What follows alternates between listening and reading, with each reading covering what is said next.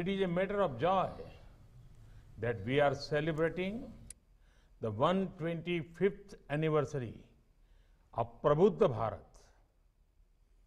This is no ordinary journal.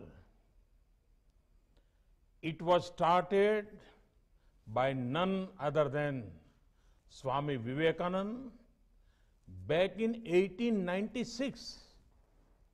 That too at the young age of 33.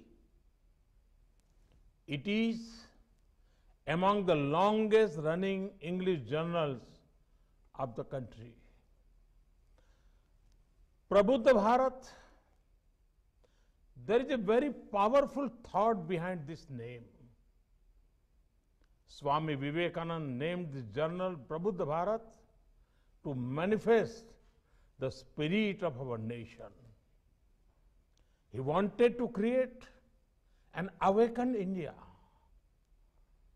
Those who understand Bharat are aware that it is beyond just a political or territorial entity. Swami Vivekananda expressed this very boldly and proudly. He saw India as a cultural consciousness that had been living and breathing for centuries. And India that only emerges stronger after every challenge despite prediction to the contrary.